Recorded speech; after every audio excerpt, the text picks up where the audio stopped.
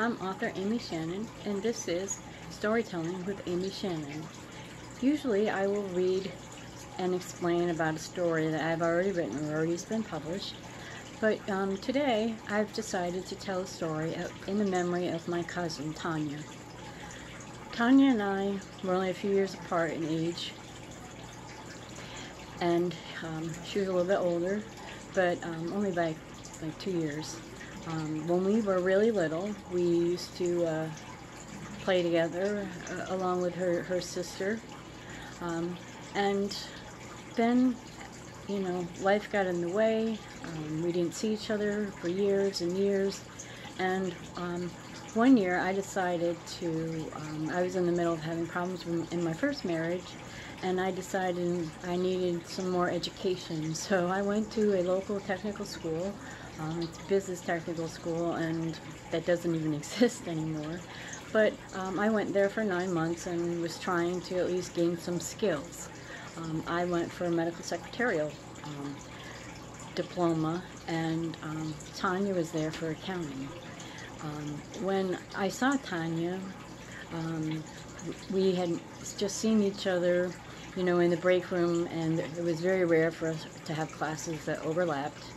And then one time, um, my class and her class had to share um, a computer lab. Um, and this is way back in the early 90s, so the computers um, didn't have mice, they um, just had disks and you know keyboards and you had to type in all your commands and you had to pull one disk out and put another one in if you wanted to save it. So hey, actually I'm getting a little off point there, but so yeah, it's the early 90s, and I, um, at the time, since I was uh, married to my first husband, David, we, um, I had his last name, so my name was Amy Good, and I was putting my name, you know, typing in my name, and Tonya happened to walk by, and she kind of giggled a little and asked me about my name, and she said that it's, um, you know, she bet that I got a lot of comments about my name, you know, people making jokes thinking they're the first one, like, how are you? If you say I'm good, they'd laugh. But anyways, um, I mentioned to her, I'm like, well, it's better than having, you know, people always call me by my last name because my I technically my last name is Shannon, so some people have that as a first name. And it's even now it happens, you know, people call me Shannon by mistake. And you know, just call me Amy.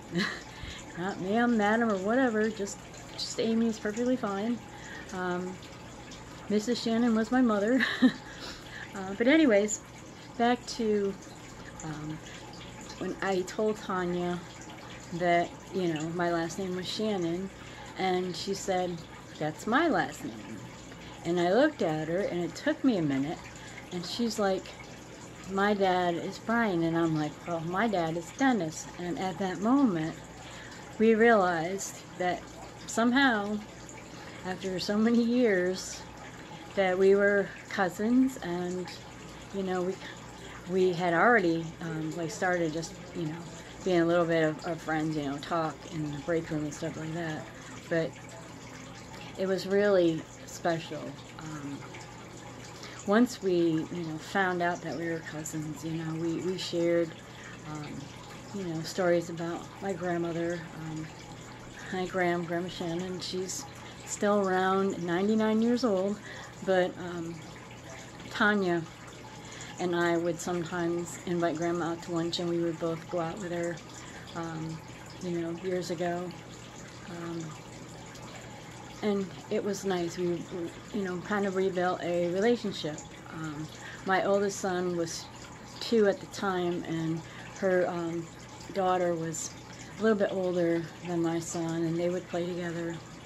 Um, and then, you know, as we both graduated, we kind of like drifted a little bit. But you know, when they invented Facebook, and um, we were able to reconnect through social media and you know, we would share information about, you know, grandma and stuff like that. And she would call grandma more than she would, would be able to see her. Um, and then a few years ago, um, I was at my grandmother's house and um, Tonya had called, so Graham was talking to Tonya on the phone, and Tonya said, told her that she was really sick and she was in the hospital. So after she talked to Grandma, Grandma passed the phone to me, and I was able to talk to her. And I told her that I, I thought, I hoped that she would feel better um, and get well. And um, I told her I loved her, and she said that she loved me too. Um, and that was the last time I, I talked to her. Um, the day after that phone conversation or so, um, Grandma had gone to see her in the hospital. And um, the next morning, um, Tonya passed away. Um, she had scleroderma that affected her pulmonary um, system, and she passed away. She was uh, 46. Um, she was a very kind and caring person.